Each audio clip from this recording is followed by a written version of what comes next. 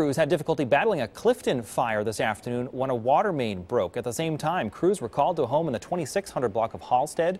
When crews got to that house, heavy smoke was coming from the second floor and the attic. Now, due to that water main break, those crews had to call in backup to get extra water. They managed to get things under control before that fire spread too far. Most of the fire was up in the attic, so they, it took them a little bit to get all that. It's labor intensive to, to pull all that ceiling.